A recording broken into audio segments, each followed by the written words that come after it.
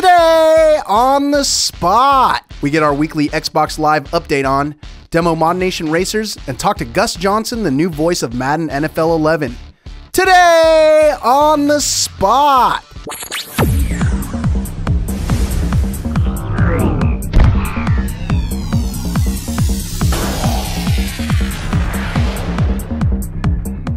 Hello, everybody, and welcome to a little show we like to call around here today on the spot. I'm your host, Shaun McInnis. This gentleman over here at my side is probably Chris Watters, but I haven't 100% determined that to be a fact yet. Chris, Scientists are mostly sure. scientists are 99% sure, but there are some How sure can you be about anything in this life? not 100%. Apparently, Chris, we've got a great show lined up. We've got Yeah. a demo for ModNation Racers. Count it. We've got an interview with Gus Johnson. Number two. About Madden 11. And you know what else we have? What is that? A segment I like to call Twox Bowl this week on Xbox Live. Okay, thank you. Whole lot of action going on. But first, as usual, we're going to kick it off with the latest headlines courtesy of the news team. Take it away, guys. Hey everybody, it's a GameSpot news update for Saturday, May 22nd. I'm Brendan Sinclair, substituting for Tor Thorsen, who's in the backwoods of Louisiana hunting the most dangerous game of all. Man. Fable 3 is back in the headlines this week, as the Xbox 360 exclusive is no longer all that exclusive. Microsoft confirmed Lionhead Studios' upcoming action RPG will also be available for the PC by the end of the year. But before Xbox 360 loyalists get too distraught over having to share, Microsoft said that the console will still be the only place to get the limited edition version of Fable 3. The $80 premium version comes in a package designed to look like one of the game's books and includes a deck of playing cards and a coin to flip when the game's moral decisions are too gut wrenching to make yourself. Additionally, the premium edition includes extra in game content, including a new outfit, location, quest, and breed of dog. If you thought that was an expensive way to show your devotion to a game, wait until you hear what Capcom has in the works for Super Street Fighter 4. The publisher has given Roundtable Concepts the right to make a line of HD TVs bearing the Street Fighter name. Spendthrift gamers will soon be able to purchase Street Fighter 4 LED TVs up to 46 inches large. The sets will feature the game's characters or logo on the casing, and a splash screen of Super Street Fighter 4 art will appear for 8 seconds every time the TV is turned on. Pricing on the TV was not revealed, but Roundtable has offered similar sets with Marvel Comics characters on them starting at $300 for a 32 inch model. Earlier this year, Roundtable also offered a buy one get one free promotion on its line of 55 inch HD TVs branded with logos from Florida universities. Because if you're nuts enough to buy expensive audio visual equipment because it has a startup screen featuring something you like, you're probably nuts enough to buy it in bulk. That's your GameSpot news update for Saturday, May 22nd. For more headlines, head on over to news.gamespot.com. Thanks for the update, Brendan. Up next, it's Twoxable, as Sean likes to say, but we're not here to discuss his weird proclivity for pronouncing acronyms in full. We're here to talk about this week on Xbox Live.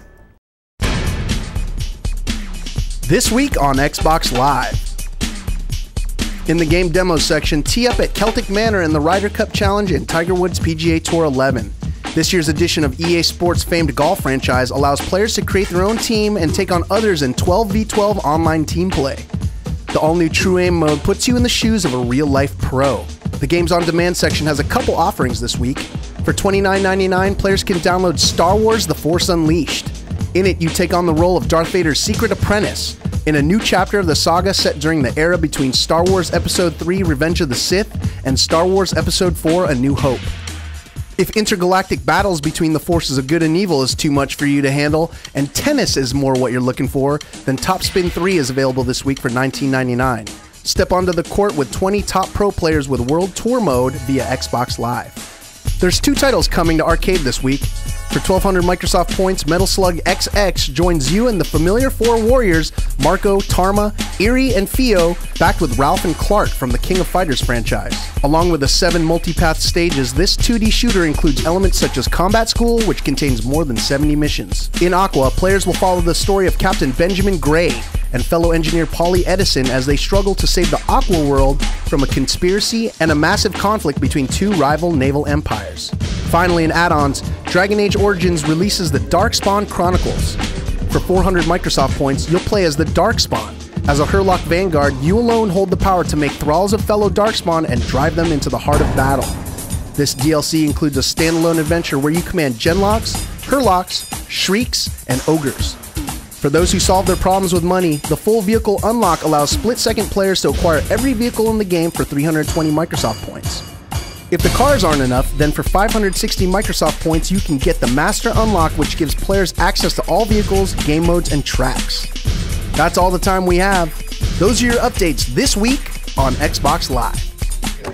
So that's what's going on with Microsoft's console this week. But as you know, Chris, we are a fair and balanced video game news show. So it is time to show Sony a little bit of love with a demo for ModNation Racers on the PSP. That's right, we got Kevin VanOrd in the studio with ModNation Racers on the PSP. I'm excited to see if he gets creative in there. I mean, that's what that game's all about, right? It's- Get creative on the tracks, the characters, and Kevin VanOrd is a creative man. That is indeed true. Kevin VanOrd is perhaps the most creative man that I know. Kevin, take it away. Hi everybody, it's Kevin Van Ord again. Now I am here with Vernon Mollett with Sony to take a look at ModNation Racers for the PlayStation Portable. Vernon, what are we going to see with this version today? Well, basically, we're going to have a look at all of the features that uh, are available on the PSP. And what we really tried to do is match the PS3 uh, pretty much one for one as far as feature set. So, uh, yeah, we had some people that told us we were kind of crazy to try to pack all that in onto a portable. But, uh, yeah, we're going to have a look at it and see what you think. Well, let's take a look at the screen. You, um, you know, we uh, we're going to see some uh, pre-recorded footage here of um, of uh, PSP uh, ModNation Racers in action. And uh, what do we see right now? Uh, we just wanted to show you a, a bit of the variety of characters that uh, you can create, uh, some of the carts that you can create, and then we go into uh, you know a bit of the track studio as well. Um, so we wanted to give you all of that functionality that you get on the home console, only you get to take it with you.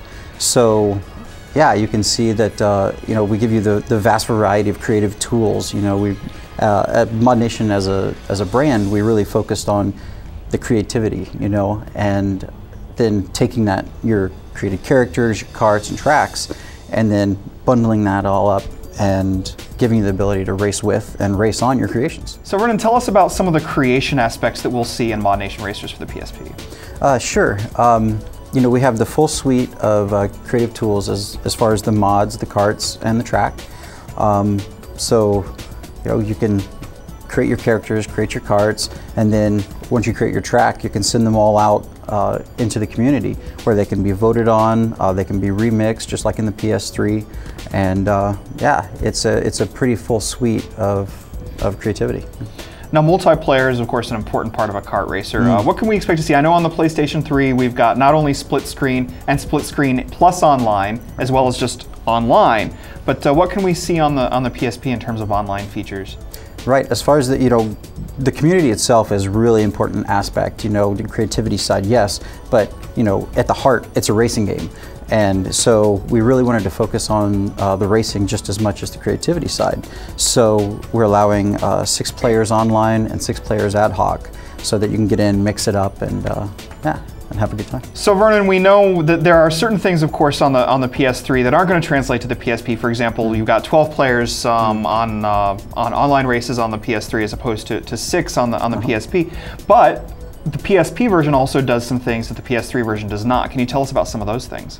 Uh, sure. Yeah. Uh, you know, we wanted to have some exclusive offering as well for the PSP, and uh, you know, there's there's several several examples. Um, you know, the first of which is like a stomp mechanism. So it's basically a weapon when you don't have a weapon. So you know, you cruise along, and it does take your boost meter, and um, basically it's a radial weapon that affects those around you, or you can direct stomp and, and it completely explode the cart, you know, for that kind of advantage. Um, we also have last cart standing mode, which is um, at the end of the day, it's basically a big tug of war. So you do your first lap, and then uh, the, a universal timer goes off. And during the last 10 seconds of that timer, the person in last place gets unlimited boost. You know, so you can try to get out of last place. And then, should you get into, you know, fifth place, for example, then the remainder transfers to the now last place person. So it's this, you know, constant battle to get out before we explode you. So Vernon, you must be really excited. The game is almost here. It's out on Tuesday. Yeah, we are really excited. I mean, what we're, I mean, we're ecstatic to see what comes out. You know, when the game gets out in the wild, and you know these awesome tools get in the hands of the public. And um, and actually, I brought you a couple copies here. So Well, that is very exciting. Take a look. It's ModNation Racers for the PSP coming out on Tuesday. Um, Vernon, thanks so much for coming by. Thanks for bringing this excellent looking game over to show us. And uh, until next time, this is Kevin VanOrd, and I'm throwing it back to the studio. All right, everybody, I hope you enjoyed that demo of ModNation Racers for the PSP because, well, that's not all the ModNation action we've got coming your way. We also have a demo for the other ModNation Racers, the PlayStation 3 version, set for the show next week, right, Chris? That's coming up next week, but now we're moving on to the interview section of our show today. Our interviewee, Gus Johnson, recently selected to be the new voice of the Madden franchise. And welcome to Qwest Field here in the Emerald City, Seattle. Gus Johnson, along with the War Eagle, Brian Ekberg. And Brian, as the 49ers get ready to take on the Seahawks, how do you break this game down? I break it down by helmet. You have a, a bird on one helmet and you have a number on the other helmet. Numbers always beat birds. Ah, very interesting concept. Hey guys, Brian Ekberg here at EA Redwood Shores. We're talking Madden NFL 11 with Gus Johnson, a familiar face to uh, familiar voice to sports fans. Has called all sorts of different sports and is now called, I think, three different EA sports games. Tell us how you got involved with Madden NFL 11. Uh, well, you know, uh, I had a chance to be a part of uh, the NCAA uh, game last year, uh, NCAA 2010, and uh, it was a wonderful experience going up to Vancouver, Canada, and uh, voicing it over.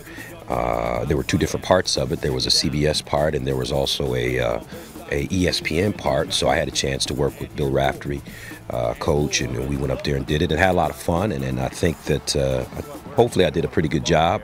And uh, they were thinking about going in a different direction with Madden, and you know they had a list of people that they were interested in, and, and fortunately I lucked up, and you know I got the call.